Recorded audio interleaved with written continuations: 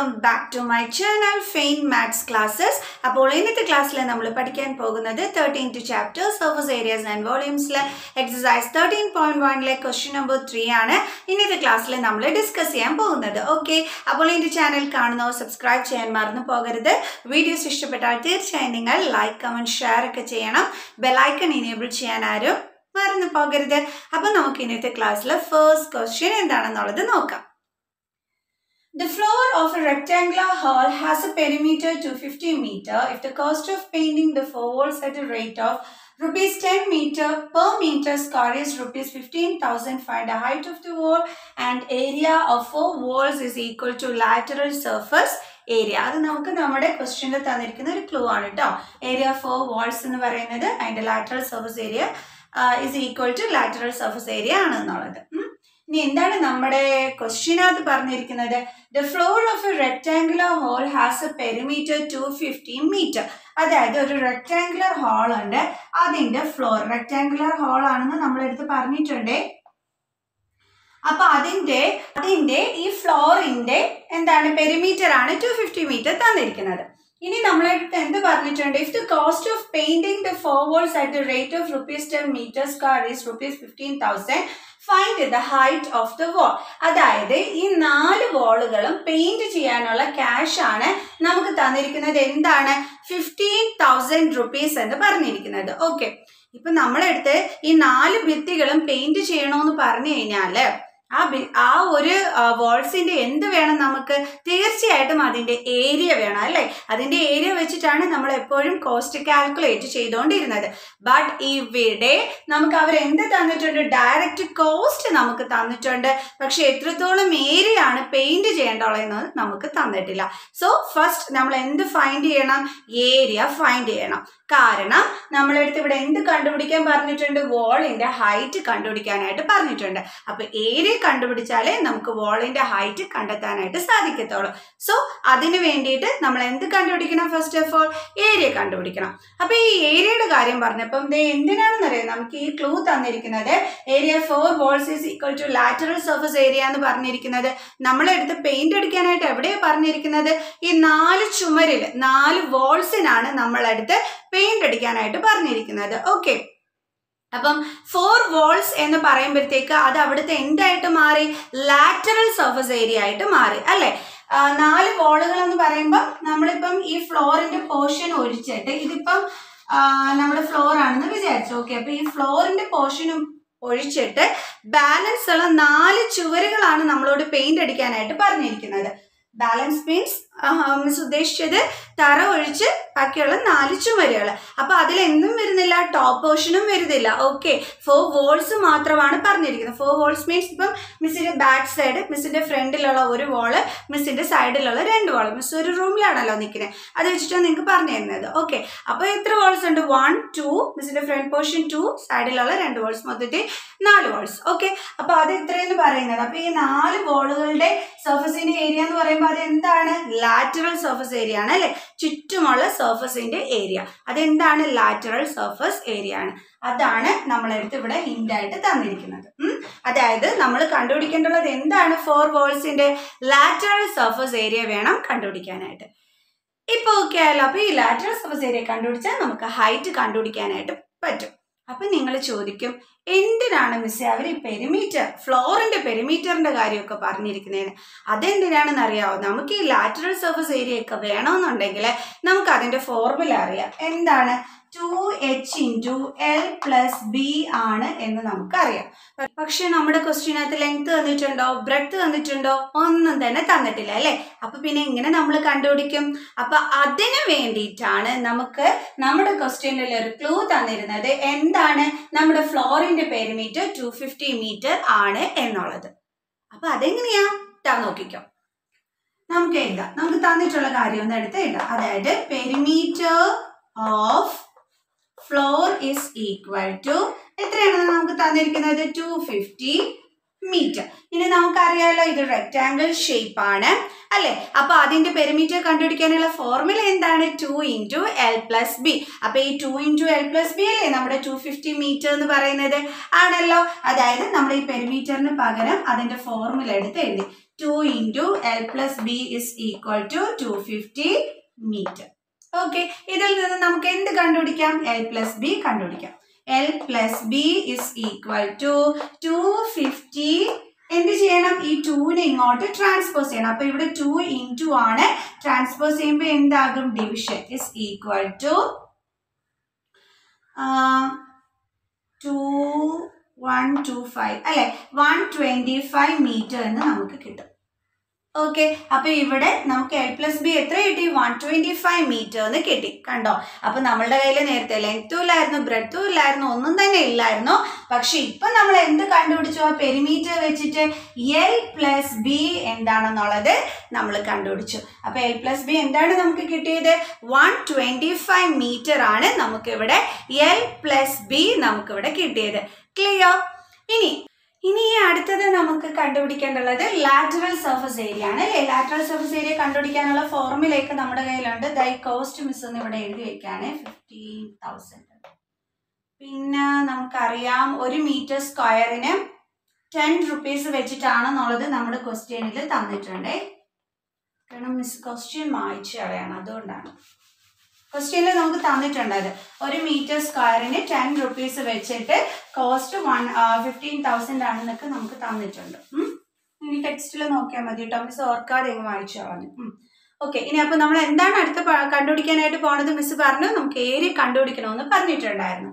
അപ്പൊ ഡേ നമുക്ക് എന്ത് കണ്ടുപിടിക്കാം? ലാറ്ററൽ സർഫസ് ഏരിയ അപ്പൊ ലാറ്ററൽ സർഫസ് ഏരിയ കണ്ടുപിടിക്കാനുള്ള ഫോർമുല എന്താണ്? Two h into l plus b okay അപ്പൊ നമുക്കറിയാലോ ദേ നമ്മുടെ കയ്യിൽ എന്തുണ്ട്? എൽ പ്ലസ് ബി ഉണ്ട്.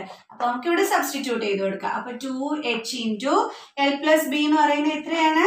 വൺ ട്വന്റി ഫൈവ് അപ്പൊ into one twenty five is equal to one twenty five into two എത്രയാണ്? ടു ഫിഫ്റ്റി പിന്നെ എന്തുണ്ട് ഇവിടെ ബാലൻസ് എച്ച് ഉണ്ട് അല്ലേ? എച്ച് മീറ്റർ സ്ക്വയർ അപ്പൊ നമുക്ക് എന്ത് കിട്ടിയ ഏരിയ? ലാറ്ററൽ സർഫസ് ഏരിയ എത്രയാണ് കിട്ടിയത്? Two fifty h metre square അപ്പൊ ഇങ്ങനെ കണ്ടുപിടിച്ച് വെച്ചാൽ ശരിയാവോ? പോരാ. എന്ത് വേണം നമുക്ക് ഹൈറ്റ് കണ്ടുപിടിക്കണം അല്ലേ? അതിന് വേണ്ടിയിട്ട് ഇനി അടുത്ത് നമ്മൾ എന്താ ചെയ്യാൻ പോകണമെന്ന് അറിയാം. അതായത് എൽ പ്ലസ് ബി കണ്ടുപിടിക്കുന്നതിന് വേണ്ടിയിട്ട് നമ്മുടെ ക്വസ്റ്റ്യനിൽ ഒരു ക്ലൂ തന്നിട്ടുണ്ടായിരുന്നു.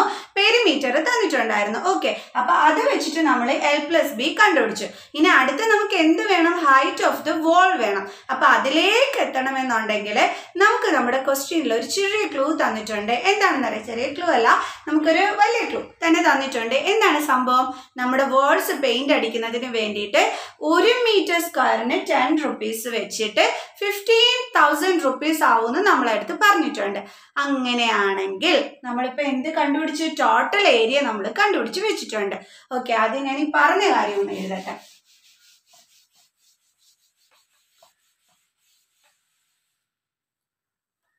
നമുക്ക് എഴുതാം. Cost of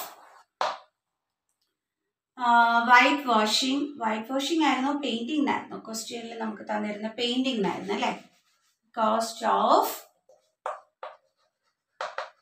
painting for one metre square എന്ന് പറയുന്നത് എത്ര റുപ്പീസ് ആണ്? ടെൻ റുപ്പീസ് ആണ്. ഓക്കെ അങ്ങനെയാണെങ്കിൽ കോസ്റ്റ് ഓഫ് പെയിന്റിംഗ് ഫോർ നമ്മളിപ്പോൾ പെയിന്റ് ചെയ്യാനുള്ള ഏരിയ നമ്മൾ കണ്ടുപിടിച്ചിട്ടുണ്ട്.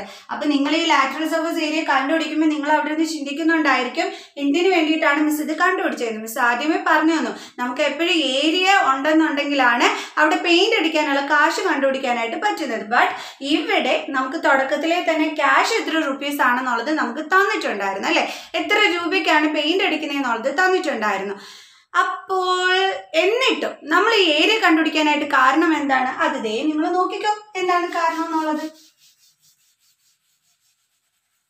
നോക്കിക്കേ. Cost of painting for one metre square ten ten rupees then cost of painting for ഇപ്പൊ ടോട്ടൽ ഏരിയ എത്രയാണ്? Two fifty h is equal to എങ്ങനെയാ നമ്മൾ സാധാരണഗതിയിൽ നമ്മൾ കോസ്റ്റ് കണ്ടുപിടിക്കാൻ പറയുമ്പോൾ എങ്ങനെയായിരുന്നു ചെയ്തുകൊണ്ടിരുന്നത്? ടോട്ടൽ ഏരിയ നമുക്ക് തന്നു കഴിയുമ്പോഴത്തേക്ക് നമ്മൾ എങ്ങനെ കണ്ടുപിടിച്ചുകൊണ്ടിരുന്നത്?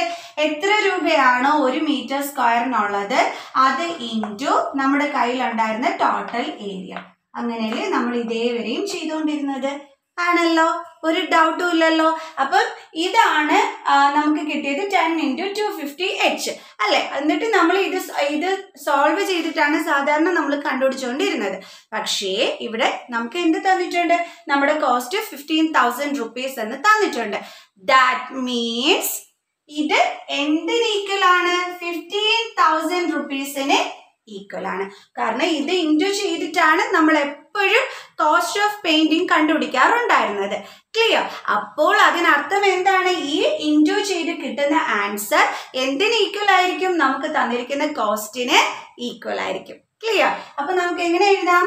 Ten into two fifty h is equal to എന്തെന്ന് എഴുതാം? ഫിഫ്റ്റീൻ തൗസൻഡ് ഓക്കെ അപ്പൊ ടെൻ ഇന്റു ടു ഫിഫ്റ്റി എന്ന് പറഞ്ഞാൽ എന്താണ്? Two thousand five hundred h is equal to fifteen thousand ഇനി എച്ചിന്റെ value കണ്ടുപിടിക്കാലോ? H is equal to fifteen thousand ഇതിനെ ഇങ്ങോട്ട് ട്രാൻസ്പോസ് ചെയ്യുമ്പോൾ ഇവിടെ ഇന്റു ആണ് ട്രാൻസ്പോസ് ചെയ്യുമ്പോൾ ഡിവിഷൻ ആകും. അപ്പൊ എത്ര കിട്ടും? ടു തൗസൻഡ് ഫൈവ് ഹൺഡ്രഡ് രണ്ട് സീറോസ് തമ്മിൽ ക്യാൻസൽ പോകും. അപ്പൊ ഇനി ട്വന്റി ഫൈവും വൺ ഫിഫ്റ്റിയും ആണ് ഉള്ളത് അല്ലേ? അപ്പൊ നമുക്ക് ട്വന്റി ഫൈവ് ഇന്റു സിക്സ് ചെയ്യുമ്പോൾ six five thirty three okay one fifty കിട്ടി. അപ്പൊ ട്വന്റി ഫൈവ് ഇന്റു സിക്സ് അപ്പം എച്ച് എത്രയാണ് നമുക്ക് കിട്ടിയത്? സിക്സ് മീറ്റർ കണ്ടോ? ഇതാണ് നമ്മുടെ ഫൈനൽ ആൻസർ എന്ന് പറയുന്നത്. ക്ലിയർ അപ്പൊ ഇപ്പൊ മനസ്സിലായോ? മിസ് എന്തിനു വേണ്ടിയിട്ടാണ് ലാറ്ററൽ സർഫസ് ഏരിയ ഇവിടെ കണ്ടുപിടിച്ചെന്നുള്ളത്. സാധാരണ എപ്പോഴും നമ്മൾക്ക് നമ്മൾ എന്ത് ചെയ്യും? ഏരിയ കണ്ടുപിടിച്ചിട്ട് ഈ പെയിന്റ് ചെയ്യാനുള്ള കോസ്റ്റ് നമ്മൾ കണ്ടുപിടിക്കാറുള്ളതായിരുന്നു പതിവ്. ബട്ട് ഇവിടെ നമ്മുടെ ക്വസ്റ്റ്യനിൽ തുടക്കത്തിലേ തന്നെ പെയിന്റ് ചെയ്യാനുള്ള കോസ്റ്റ് നമുക്ക് തന്നിട്ടുണ്ടായിരുന്നു അല്ലെ? ഫിഫ്റ്റീൻ തൗസൻഡ് റുപ്പീസ് എന്ന്. അപ്പൊ ആ കോസ്റ്റ് വെച്ചിട്ട് നമ്മൾ എന്ത് കണ്ടുപിടിച്ചു? നമ്മുടെ ഹൈറ്റ് കണ്ടുപിടിച്ചു. നമ്മൾ സാധാരണ നോർമലി നമ്മൾ ചെയ്യുന്നത് പോലെ തന്നെ നമ്മൾ എന്ത് ചെയ്തു? ഫസ്റ്റ് ഓഫ് ഓൾ നമ്മൾ പെയിന്റ് ചെയ്യാനുള്ള ഏരിയ എത്രയാണെന്നുള്ളത് നമ്മൾ നോർമലി ചെയ്യുന്നത് പോലെ തന്നെ നമ്മൾ എന്ത് ചെയ്തു? കണ്ടുപിടിച്ചു. എന്നിട്ട് സാധാരണ എങ്ങനെയാണോ നമ്മൾ കോസ്റ്റ് കണ്ടുപിടിക്കാറുള്ളത്? അതേപോലെ തന്നെ നമ്മൾ ഇവിടെ എഴുതി. അത് കഴിഞ്ഞപ്പോൾ നമുക്ക് എന്ത് നമുക്കറിയാം ഈ നമ്മൾ കണ്ടുപിടിച്ച ഈ ten into two fifty h എന്ന് പറയുന്നത് എന്തിന് ഈക്വൽ ആണെന്ന് നമുക്കറിയാം? ഈ ഫിഫ്റ്റീൻ തൗസൻഡ് റുപ്പീസിന് ഈക്വൽ ആണ് എന്ന് നമുക്കറിയാം. കാരണം എന്താണ്? ടോട്ടൽ ഏരിയ ഇന്റു ഈ നമുക്ക് തന്നിരിക്കുന്ന ഇവർ ഒരു മീറ്റർ സ്ക്വയറിന്റെ റേറ്റ് ഉണ്ടല്ലോ. അതാണ് എപ്പോഴും നമുക്ക് എന്തായിട്ട് കിട്ടുന്നത്? കോസ്റ്റ് ആയിട്ട് നമുക്ക് വരുന്നത്. അതുകൊണ്ടാണ് മിസ് പറഞ്ഞത് ഈ ടോട്ടൽ ഏരിയ ടോട്ടൽ ഏരിയ എത്രയാണ്? ടു ഫിഫ്റ്റി എച്ച് അത് ഇന്റു നമ്മുടെ റേറ്റ് എത്രയായിരുന്നു? ഒരു മീറ്റർ സ്ക്വയറിന് ടെൻ റുപ്പീസ് ആ ചെയ്യുന്നതിന് ഈക്വൽ ആണ് നമുക്ക് തന്നിരിക്കുന്ന കോസ്റ്റ് എന്ന് എഴുതിയിട്ട് മിസ് എന്ത് കണ്ടുപിടിച്ചത്? ഇവിടെ ഹൈറ്റ് കണ്ടുപിടിച്ചത്. അപ്പൊ ഹൈറ്റ് ഓഫ് ദ ഹോൾ എന്താണ്?